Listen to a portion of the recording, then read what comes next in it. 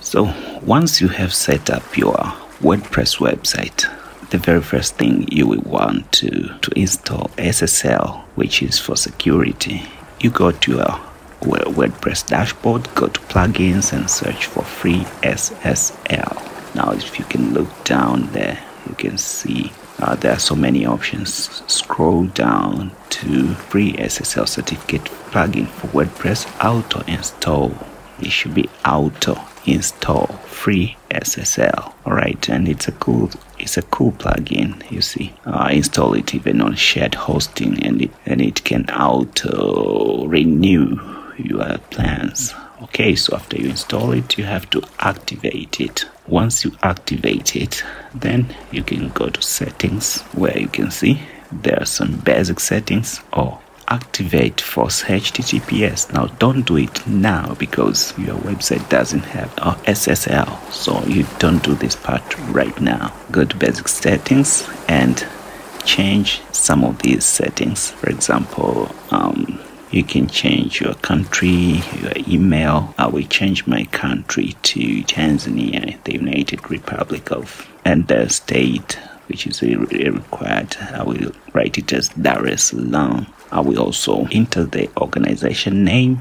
Now if you use a cpanel you can choose with cpanel if you don't use cpanel then you can choose whatever your website directory is. So for me it's here. So i will just copy it here and then i will paste it here. Now make sure that you don't use a trailing slash after the username okay? All right and um, you will need to have a directory. This plugin will create a di directory but will, you will have to write the name. So i will just write secured files uh, blah blah blah blah blah blah blah. It doesn't matter. You just write any name that's not there. Otherwise it may be replaced. All right now change the time to seven days for renewal. And if you have a cpanel here you have to choose yes if you don't have a cpanel then you, you have to choose no.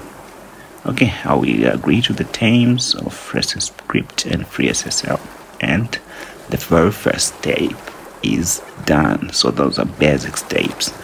So since I have cPanel settings, I will go to cPanel settings. If you have a lot of domains, then you, you may also choose that uh, exclude domains to exclude some domains to this. So I will just enter my cPanel host login URL and then I will use my username and password and then I will just go like that. Once I've done this part here then I'll add the cron job and it will just uh, it doesn't need any settings.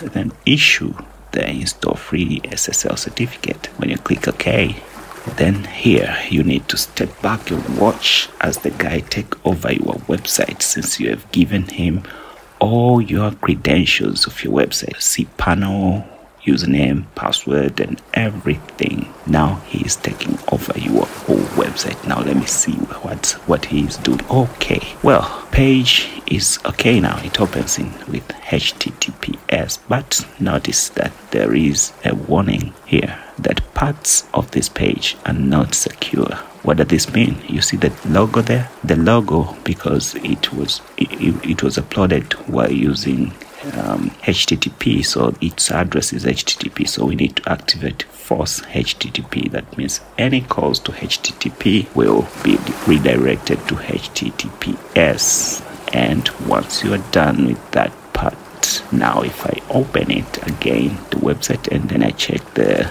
for that lock there, it shows everything is alright. Connection is secure. Alright. If you like this, share and subscribe. Peace out.